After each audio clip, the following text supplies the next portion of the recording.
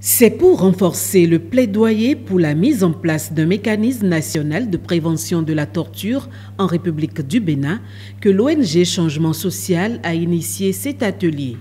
Il s'agit de faciliter l'appropriation des standards internationaux par les acteurs intervenant dans le domaine de la prévention de la torture. L'ONG Changement Social Bénin, fidèle à sa mission, celle de promouvoir l'effectivité des droits humains au Bénin,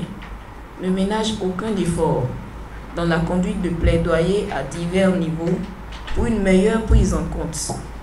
de la dimension humaine dans la mise en œuvre de toute action publique. Ce projet initié par l'ONG Changement Social Bénin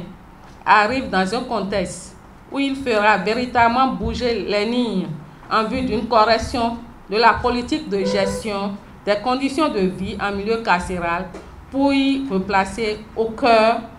la dignité des personnes privées de liberté.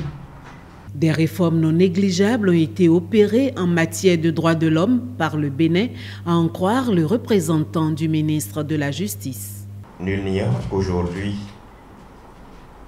il existe une commission béninoise des droits de l'homme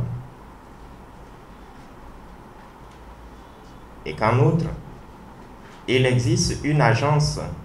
pénitentiaire qui opère dans le secteur pénitentiaire.